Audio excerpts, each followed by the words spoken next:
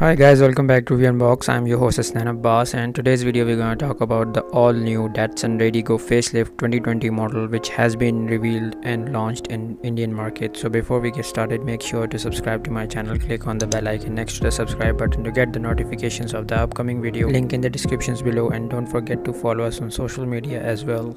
So guys, the 2020 Datsun Redi-Go facelift has been launched in India with the pricing starting from 2.83 lakh Indian rupees. Just for comparison, that price equals to 6 lakh rupees in Pakistan. In terms of styling, the new Datsun Redi-Go facelift features a significantly revised design with a fully enhanced front end with sleeker headlamps, new bonnet, larger radiator grille with chrome surround, a redesigned bumper with L-shaped LED DRLs and LED fog lamps. On the sides, the 2020 Redi-Go facelift gets a 14-inch steel wheels instead of previously offered 13-inch with new dual-tone wheel covers designed to look like alloy wheels. Towards the rear, there are new tail lamps with LED signature light as well as roof spoiler with integrated stop lamp.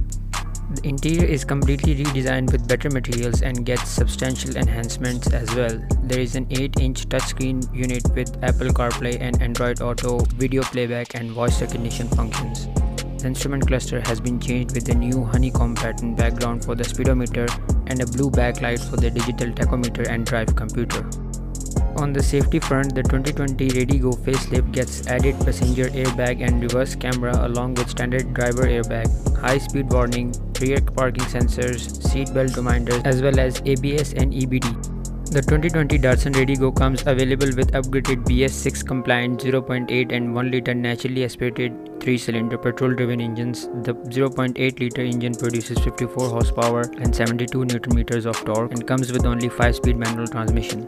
The 1 liter engine develops 68 horsepower and 91 Newton meters of torque and is available with either 5 speed manual or 5 speed automatic transmission. Now as for our region in Pakistani market, Ghandhara Nissan GNL have acquired brownfield investment status was in the process of introducing Datsun range of cars in Pakistan. However, earlier this year the company announced to put the Datsun project on hold citing volatile economic conditions as a reason behind the decision.